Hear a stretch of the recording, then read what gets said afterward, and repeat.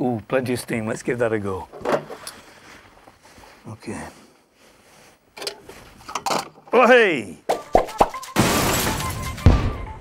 What I'm going to do with this experiment is crush an aluminium can with water. Not muscles, water. And to do this, what I need are safety gloves, tongs, cans, cold water, a bowl, and a hot plate. Now, all of us have taken a, a can like this when we finished drinking and, and crushed it. Great. There it is. It's not quite the same volume that it was before. That's because our muscular action, that energy, has pushed all the air out of it as a byproduct. So instead of muscular energy, what we're going to do is take the can and we're going to make it susceptible to air pressure on the outside. All around us, air acts on us at 14.7 psi, pounds per square inch. That, that affects us all, and that's pushing, pushing on the can. And in normal instances, there's either a liquid inside or there's air inside pushing out with the same sort of pressure. But what we're going to do in this instance is we're going to heat the inside up, we're going to boil a bit of steam, we're going to get a bit of water going in there, we're going to create some steam, and then we're going to plunge the whole thing into a bowl of cold water. And what will that do? That will make this air inside contract. That will make the volume of air on the inside contract, get smaller. There's a can. We've still got the same air pressure on the outside, crushing away like that. But suddenly the volume of air on the inside, that's air, you can imagine that's, that's air there, it's suddenly got smaller, it's contracted because all the energy has been taken out of it, so it's got smaller. So all around here is a vacuum in a split second, in a, in a, tiny, tiny moment. And in that time, all the air on the outside wants to crush that can, and it does. Wallop, it, it's crushed. So I'm going to put some cold water into this bowl. And then I'm going to put a little bit of cold water into this can. Not much, because I want it to heat up pretty quick. I'm going to put gloves on. Can't be too safe.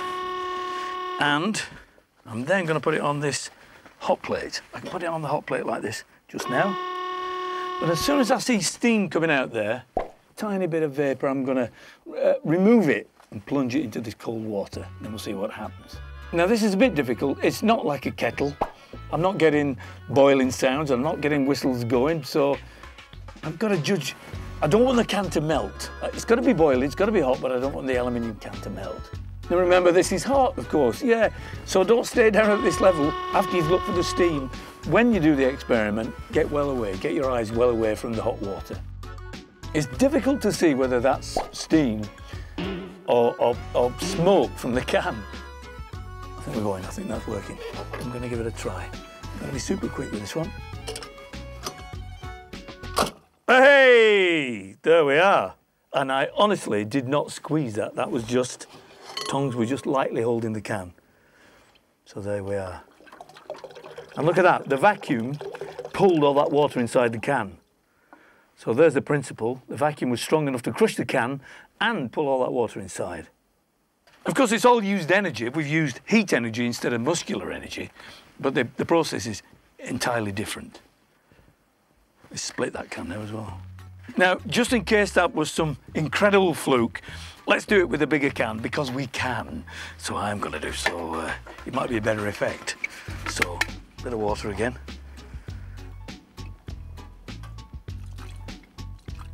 Oh, maybe I've done that. Oh, blimey. How do I know if I've got enough? Right.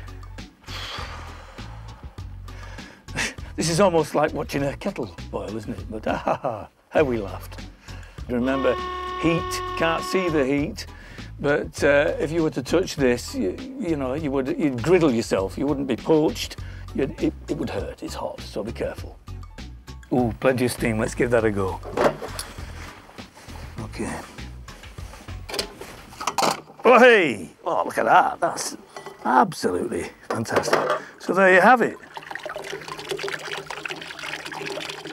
All that water sucked up in there by that vacuum. So that, that's, that's exactly how it works. It works. All that sudden contraction pulled the water in and pushed all that air pressure on the outside to crush that can. Fabulous, fantastic.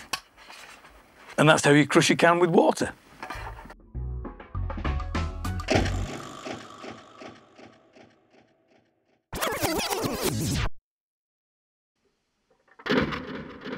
Uh-huh.